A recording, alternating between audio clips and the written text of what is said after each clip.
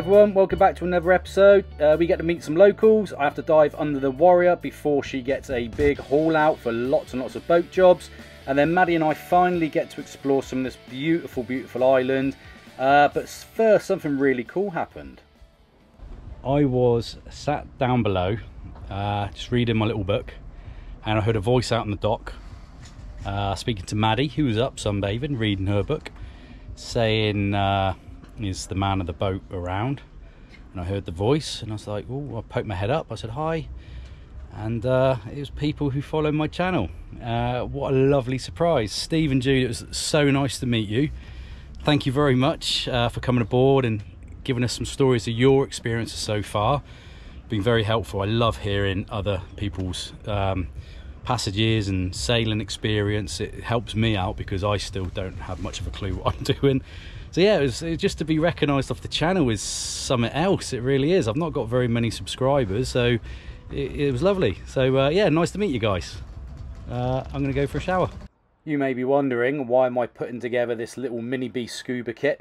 Well, I uh, jumped in um, and checked out the bow thruster because it wasn't working very well and it was absolutely caked with barnacles.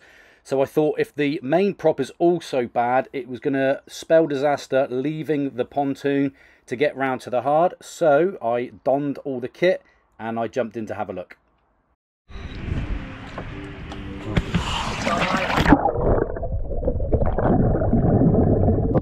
As you can see the visibility is disgusting. It's kind of like in a bit of a mangrove i managed to get down there. Um, look at the state of that. Absolutely disgusting. I don't think it i mean it wouldn't have been a major drama to get round but it certainly wasn't going to help. So time to give it a clean. That's it. It's uh, inspected cleaned off as much of the barnacles. I, I put a pair of gloves out because i knew the barnacles just absolutely shred your fingers but I didn't put them on stupidly. So I've got the, the small reef off of the propellers. There was a, there was a, a whole colony of underwater sea animals living on my prop. So I've managed to get most of that off. Hopefully now it should get me around to the lift out. Bow thrusters I can't even get in there. It's it's terrible. Um, so I'm gonna go wash all my gear down and then lunch. Today is the day we are hauling out um, engine's running, don't know if you can hear. I've got the boat pretty much ready. Um, I'm going to pull her forward a touch because uh, we've got a big cat next to us. So I'm going to give myself every fighting chance because I don't know how she's going to move, if she's going to move, because she's been sat here for a couple of months. You saw the prop, how dirty it was, so I'm hoping that it still wants to propel us. Um, so yeah, we'll figure it out as we go, I guess.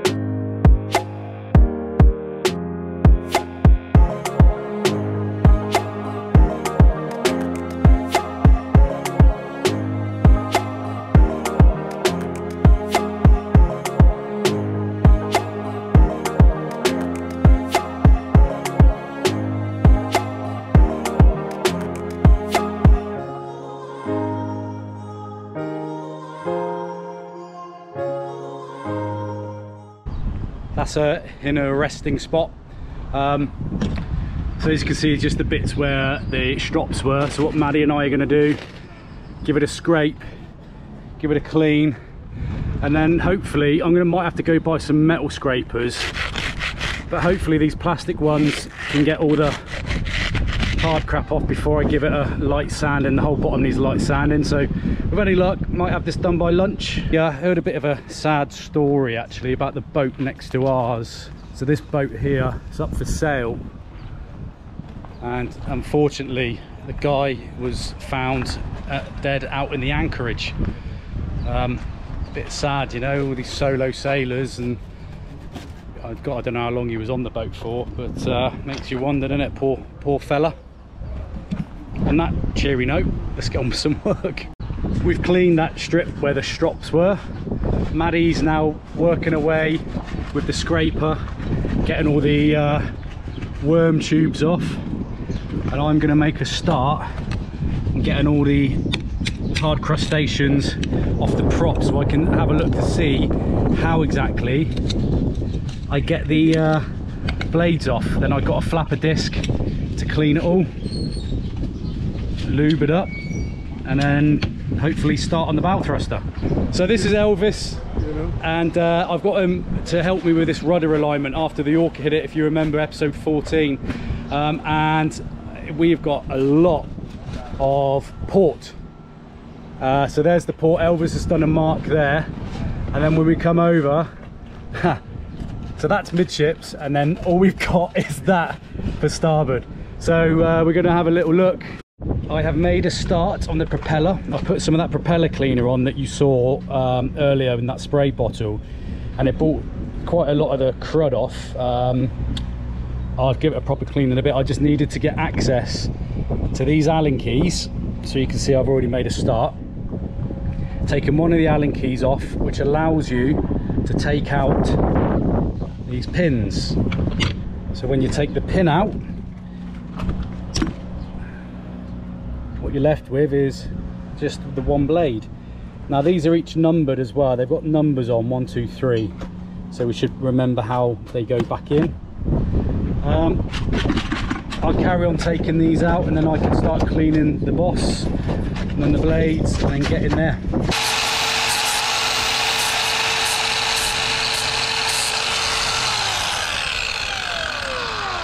I think that's going to come up lovely. I think this might be a little too boisterous though, so I might go across the road and get uh, maybe like a 200 grit. That might be a bit much. I'll give it a go, see how it comes out. We got it nice and shiny, nice and shiny. Um, so Maddie and I have worked together. Um, we put the first one in just because before I filmed I wanted to see that it actually went in okay greasing up as we go along. You see all that grease in there. And I'll get back to you when it's all back, hopefully back together.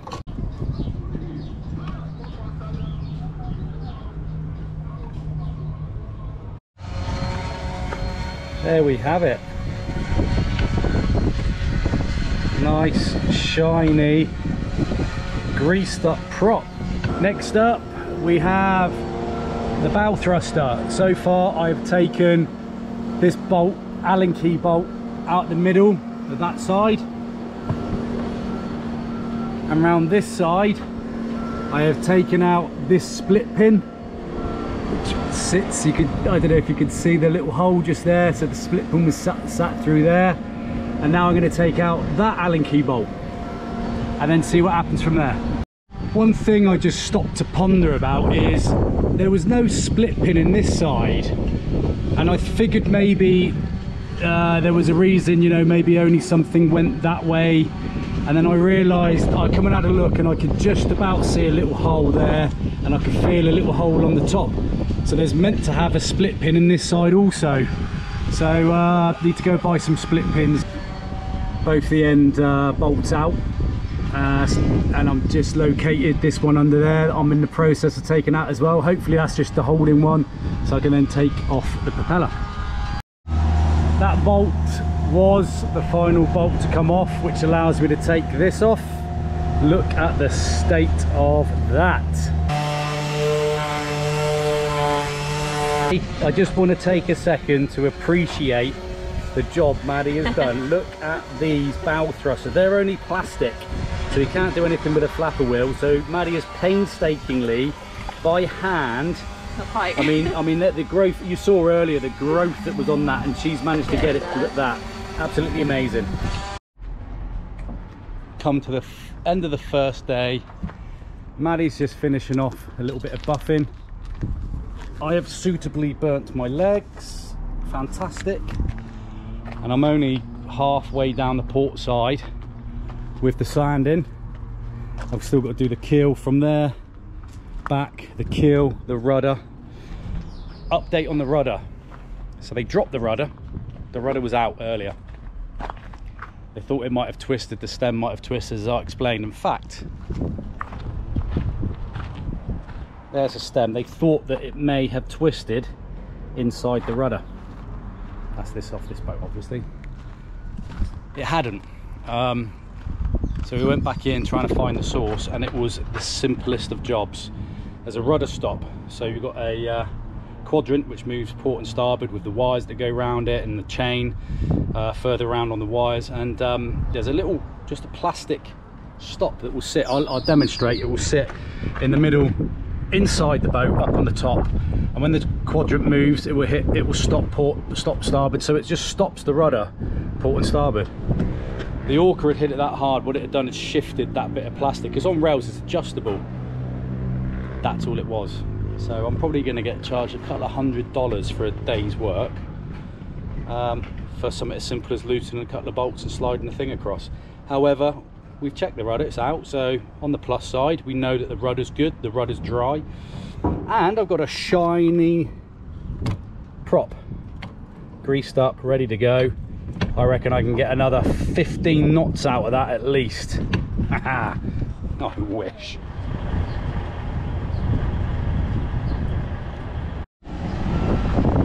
All the spot priming done. However, I've just been told by one of the uh, local guys who work in the yard, he knows, uh, I've already spoke to him yesterday, I said, uh, I'm putting the I'm putting a, a, barrier coat on because I the paint I've got on at the moment, the anti-foul I've got at the moment is different to what I used last year when I was at home.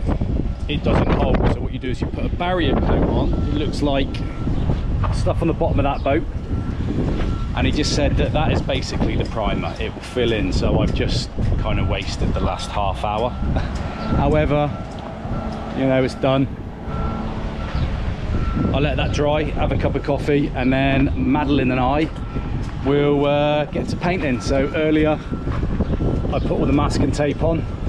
Well I started and a very kind tall local lad who works here said uh, I don't want to see you struggling. So he just come, took the tape and done the, the, port side for me. Then he had a job, so I carried on on starboard.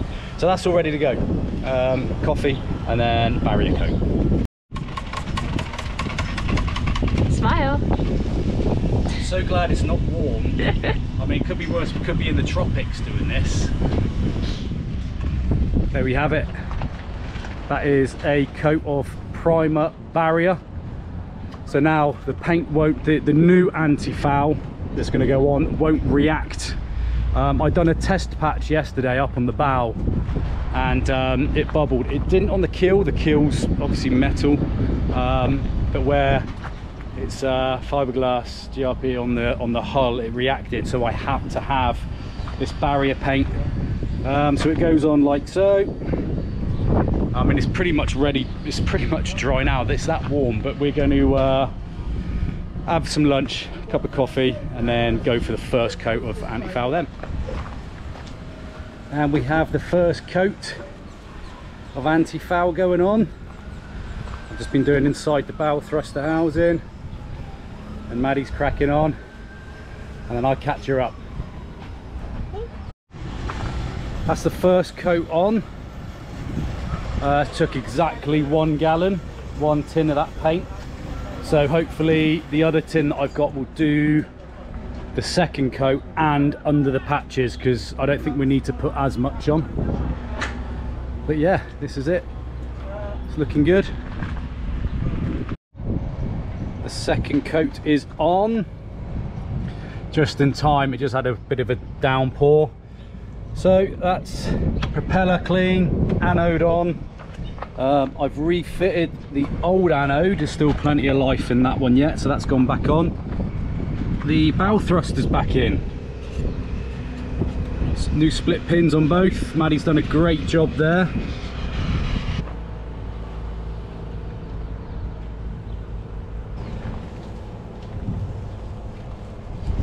After all this hard work, Maddie and I spent the next day exploring the nearby Pigeon Island.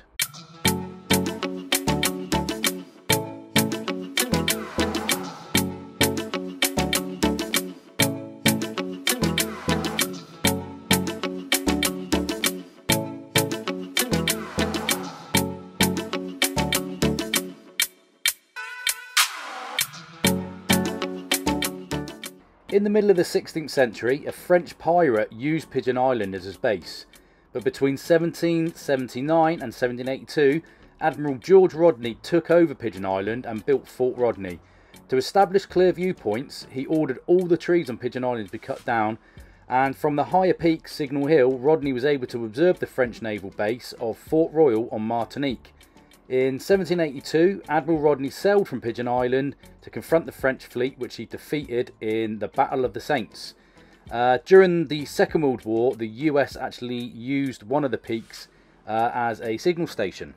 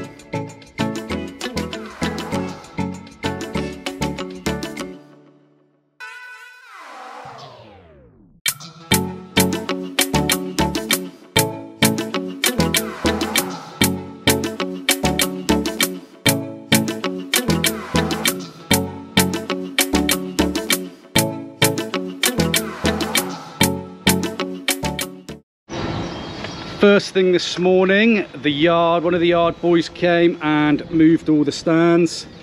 I sanded. Uh, maddie then came down and put this primer barrier coat on. Good thing with being in the caribbean is everything dries very quick. So i'm pretty much ready to stick the first coat of uh, anti-foul on leave that a few hours and then um, the second one I've all paid up my bill, um, cleared out with customs because we are launching four o'clock this afternoon.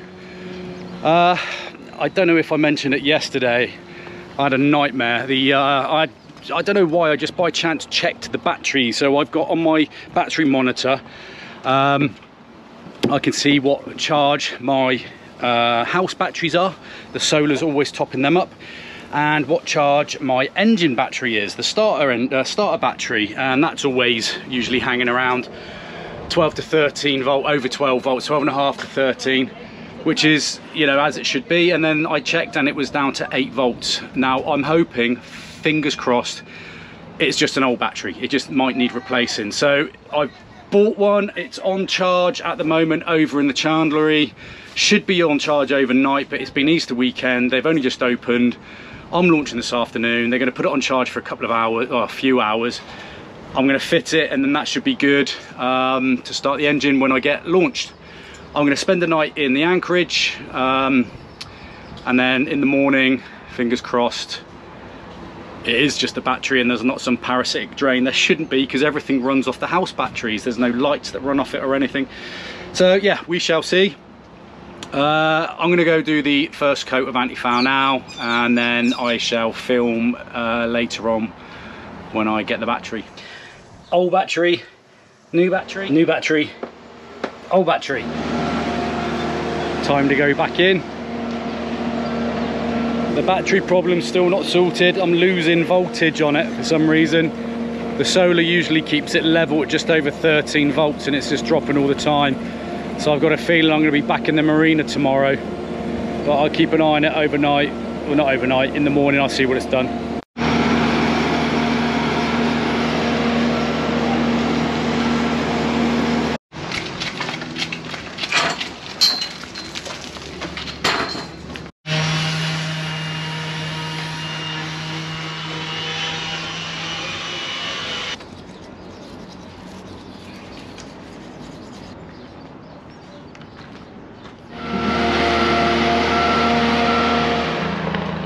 So rather than go to anchor, I'm not very happy with this battery situation and I won't be able to rest well in the anchorage knowing that I may have to jump start the new battery to get in. So what we've done is, there's the lift in the distance. We've just motored across here and put ourselves in. This is the very first, if you watched a few episodes ago, this was the very first slip that we come into. Um, and then we went into the actual marina. I'm just going to ask to stay here tonight. It's not the best, it's right next to the main road, but it's going to give me peace of mind. I can check the battery tomorrow. Um, if I'm happy, uh, then yeah, we're head. Good morning. Uh, check the battery. It's good. It's held its charge overnight, so that's great. Um, getting the boat ready. Uh, Maddie and I are going to slip the lines. We are going to head uh, out there into the bay. There's an anchorage further round to the left, or Pigeon Island is round to the right. Uh, I think we're gonna anchor at Pigeon Island for the day, make sure all systems are good and working. Thanks so much for watching. Um, join us next time to explore Martinique. Um, and it's gonna be the first sail that we've done in a while as well, so that'll be interesting. Make sure that uh, everything's okay there. If you enjoyed this episode, please give it a thumbs up, give it a like, give it a comment. Um, really helps support the channel. Uh, if you're not already, subscribe. Um, and if you hit the notification bell, then what that does is lets you know when I post the next uh, episode. Thanks again, guys. Catch you later.